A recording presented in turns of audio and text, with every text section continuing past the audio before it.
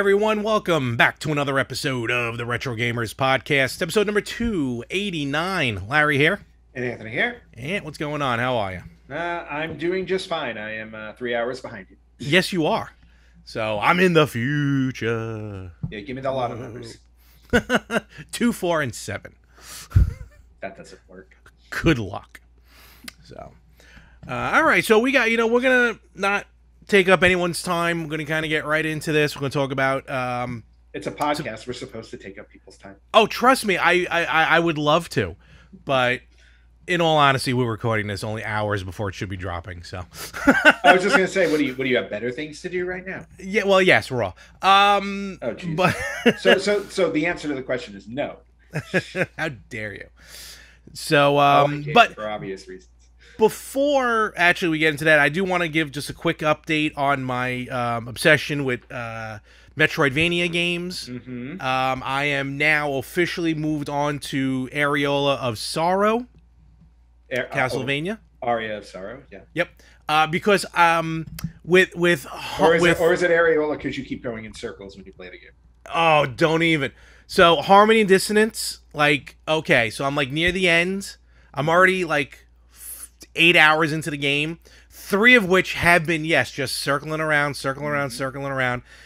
When I realized that there was one thing that like I did see harmony and dissonance. You do a lot of things in one part of the castle that affect another part of the castle, uh, but you also tend to forget that stuff like that happens. And I kept coming up to these these gold uh, barricades. I'm like, how do I get through them? Totally forgetting, like four hours earlier, I did one of these things where I, I rotated something to get access to a whip, which crushes those barriers. So for four hours, I was literally doing nothing in the game.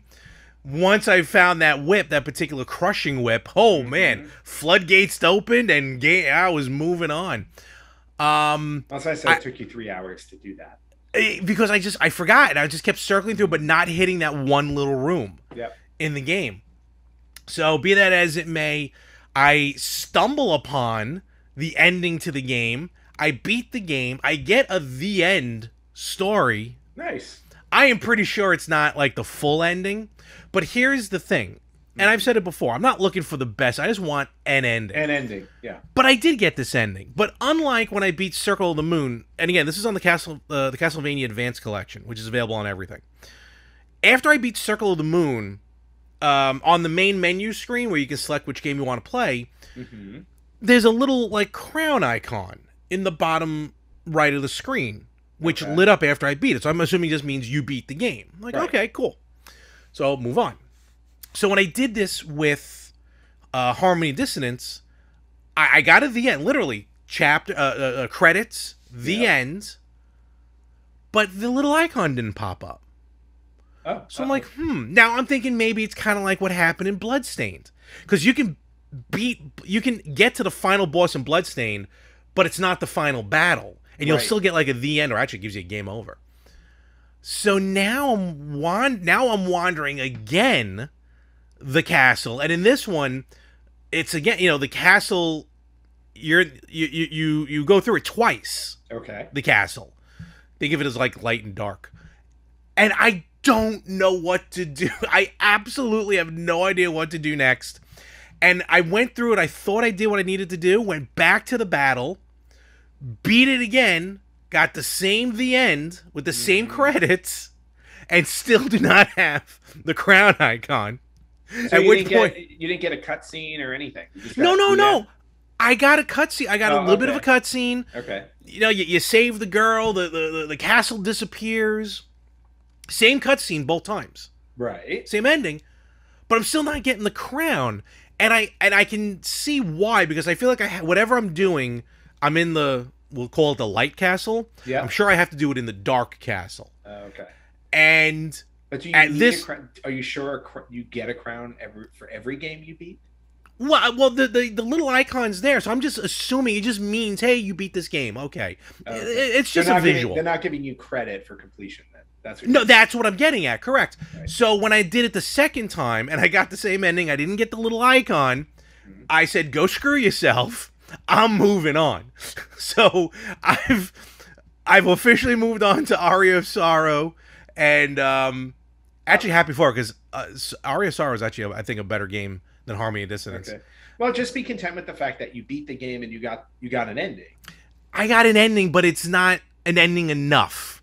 So I will go back to Harmony Uh, at some point. I will. Okay. But- By the time you go back to it, though, you will have forgotten everything, and you'll be like, A "What do I do?" hundred percent. Oh yeah, because- you'll start over. because that's when next I'm I'm going for Symphony of the Night next. I'm Yeah. going to redo that game. Oh, you've done you've beaten it before, though. Well, no, I've got like 198 percent, but I never officially beat it. Oh wow, okay. And pff, th- that save is long gone. Uh, So I'm going to start game, great ending. hundred percent. I'm debating whether I should play it on the Xbox 360 or the original PlayStation. Ooh, interesting choice. And and I don't really the only difference I think is just a slight graphical upgrade. But be that as it may, I might go with just original PlayStation. Um, that's going to be next. But right now, Area Sorrow. Uh, I'm going through and I'm enjoying it. Mhm. And again, I highly recommend this collection. It's on everything, and all three games. I mean, it also comes with Drac- uh, uh, Dracula X from Super Nintendo. Mhm. Um, but all three games are phenomenal. So uh, definitely recommend. That's where I'm at right now. So Very I've moved cool. on. So we say like one and a half games have been beaten. All right. Well, fair enough. So that's Um, uh, not not too much in the retro gaming category, but uh, I did complete South Park: uh, The Fractured Butthole. Oh, you did. How was that? Fantastic, fantastic. Loved the game. Uh, story was great. Mhm. Um, and uh, after I beat it, I went back and cleaned up the stuff that I didn't do because, like, they Okay. give you they give you um, you have Like side missions. Yeah. Yeah, because it's like an RPG. It has side Yeah. missions.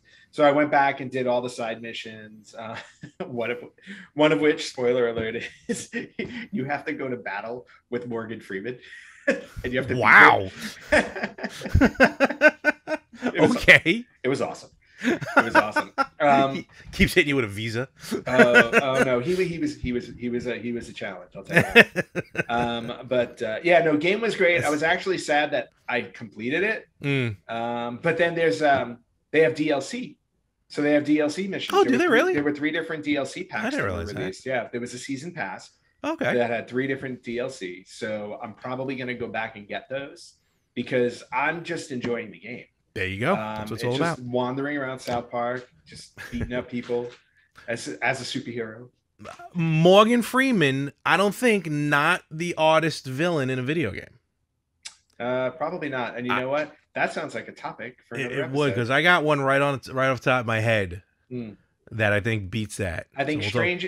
Uh, that sounds like next week. Strange, strangest villains in video. I think so. I think so. Mm. So, uh, all right. So, but that's very cool because I, I really want to play South Park because I've been I've been watching the movies, you know, the new ones on Paramount Plus. The streaming wars Mm. have been phenomenal. I saw the Yeah. first one. I haven't watched the second one. Yeah, It's so I, I just love how they can just take a topic and and really talk about it, Mhm. but mask it as something else. It Yes. is wild how they can do that. no, they're they're, So- they're great at that. They're masters at that. Um, and of course, their 25th anniversary concerts coming, and they're actually doing something across the country with different like um, uh, like a like a one day uh South Park touring museum or something like that. Oh, that's really cool. yeah, Here, uh, over here, oh, oh, not too far from me, and I don't know if it's still there. I really hope it is because I wanted to do it. There was a South Park escape room. oh my god, that that would I know. I got to look it up. If it's still there, I should really like hurry over and. You just hear Cartman mocking you the entire time. that would be awesome. So uh, I actually have to. I have to check into that and go do it before it goes away. awesome. Yeah. So, all right, very cool, very cool. So, uh, check the, both those games out. Uh, both highly recommended from your retro gamers. Yes. So, but what we're going to talk about is a rumor that has come to fruition. And um, again, I thought we were done with these minis, but at we should. Well, let's rephrase that. We should be done with these minis at this point. I think we should. be. You're right because this is the first time we're getting a sequel uh, Mhm. to a mini. Which, yeah, you're right. It's kind of kind of weird. But we t- we talked about it a couple weeks ago. The Mega Drive Mini Two, which was Mhm. coming out in Japan. Uh, but at the time, there was no release or no mention of a North American version. Well, lo and behold, now there is. Yeah, surprise, surprise. Sega wants to make more money.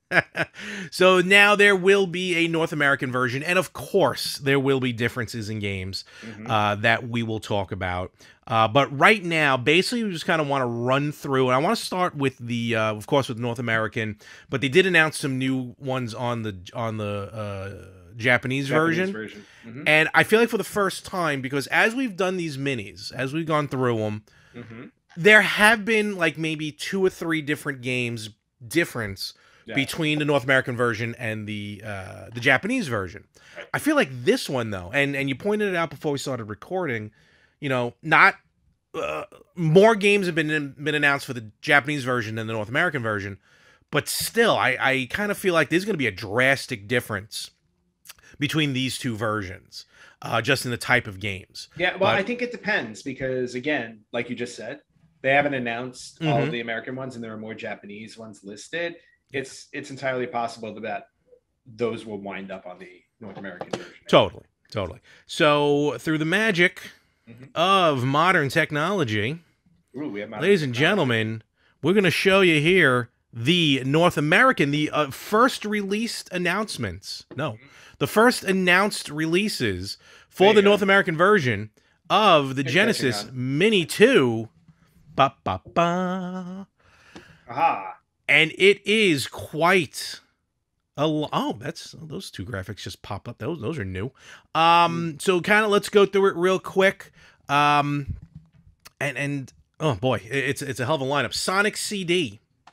Yep. Now they're dipping into the uh, Sega CD collection, which is great. Yep. I mean, we got a lot of good a lot of good Sega CD games. Uh, Shining Force CD, which is awesome. Sylpheed, which is a great shoot 'em up. Which, by the way, whenever I see the title for that one, I always read it as Slipheed. And I Yeah, di- no, I, you're right. It it's di- like I'm, I'm dyslexic with that title. now, of course, I'm going to try and read this. I think, Ant, the list that's on the website is in order of these Yeah, photos. th- this is a Mansion of Hidden Souls. I don't remember this one. I do. I actually have it. Oh, you do? I what kind of game was it?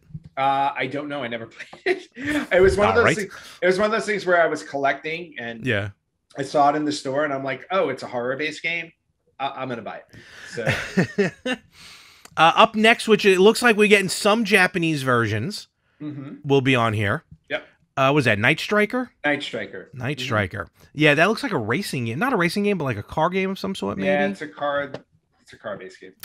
Uh, the Ninja Warriors, which is probably more based on the arcade version, which is an awesome game. Yes. The Night Warriors, awesome game. Yep. Uh, and then let's pick up some speed here for Genesis. Afterburner Two, Excellent. Outrun, classic. Mhm. Outrunners, which you don't see as often. Yeah. Uh, virtua Racing, Super Hang On, which I'm always hit or miss about. I liked Super Hang On. Uh, Sonic 3D Blast, that was an interesting one. Interesting choice. Uh, a game that I think is going to be really cool. Shining in the Darkness.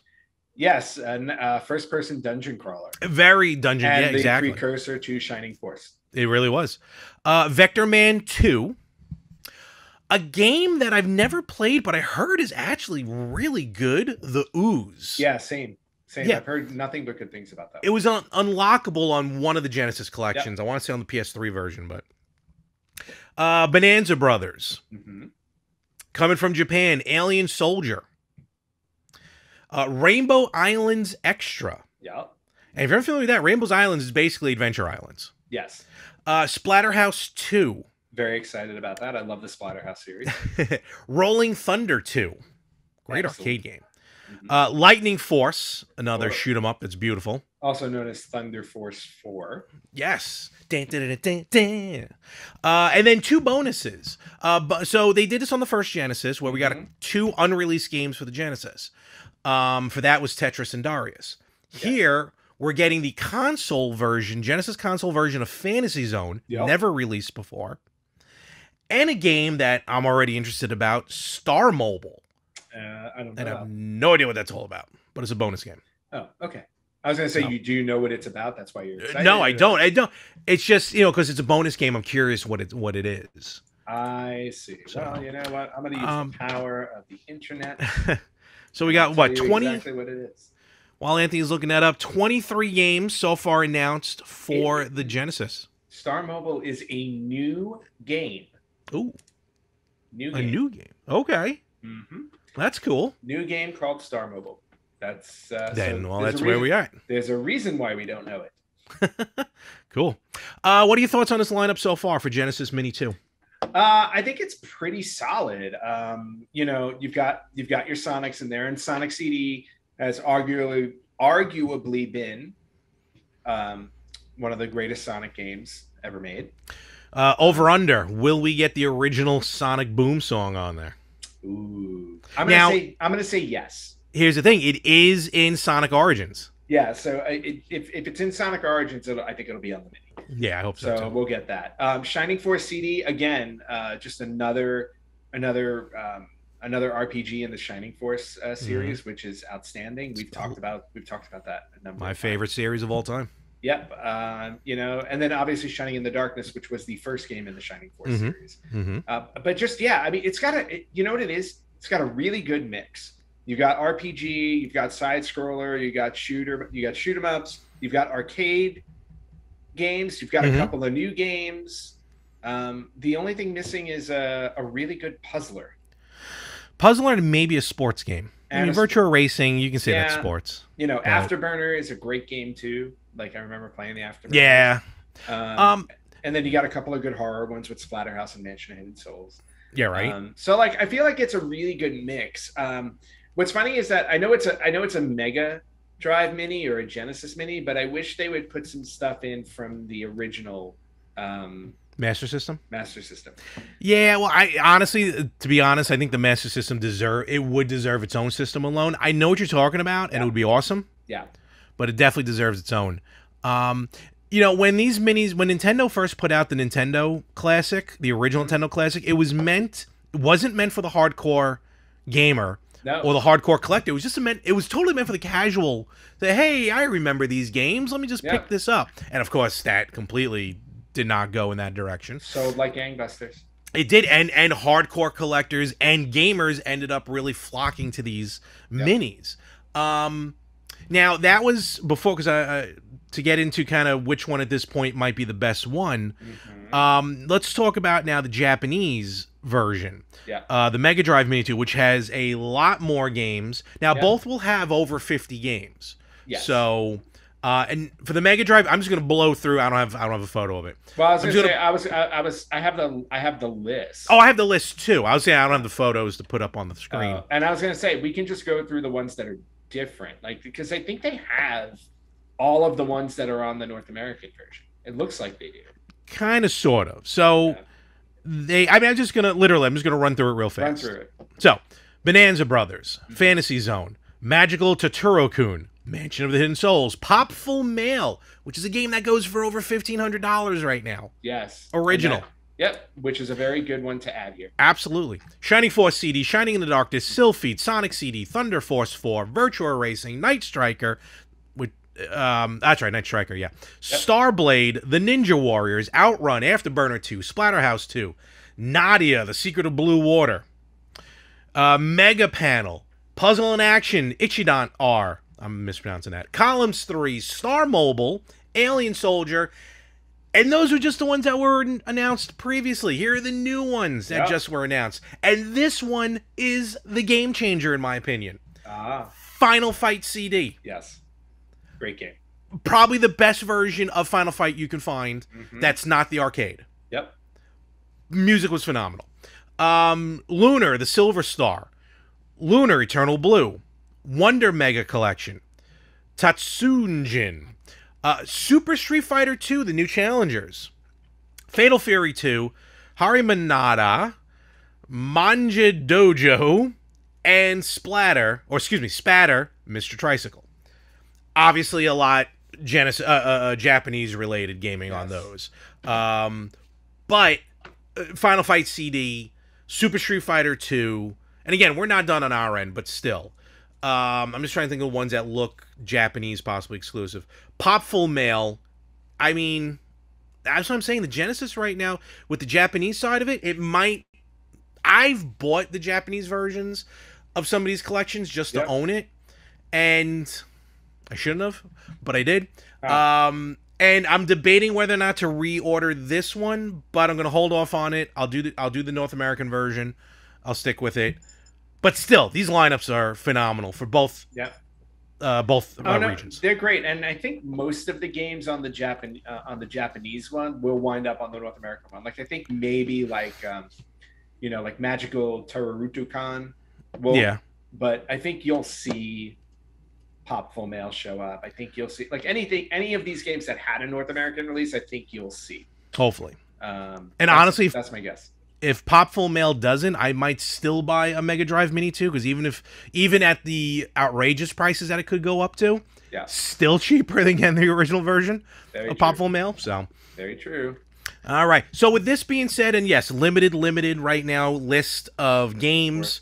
Um, right now, like, do do you think the Genesis 2 is going to be competition for probably, in my opinion, uh, the best mini of them all has been the TurboGrafx Mini. I think so. Yeah. Do you think? You think it can it can hold so. up to it? Yeah, Okay. I, I, at least for the ones that I own, I like the Mhm. TurboGrafx Mini the best. Mm-hmm. Yes, All right, very cool. but can can the oh, okay? I didn't answer your question. Uh, can the Mega Drive Two hold up to it? Mm, I'm not sure, and the reason why I say that is because I do feel like these minis have kind of run their course. So Okay. I don't know.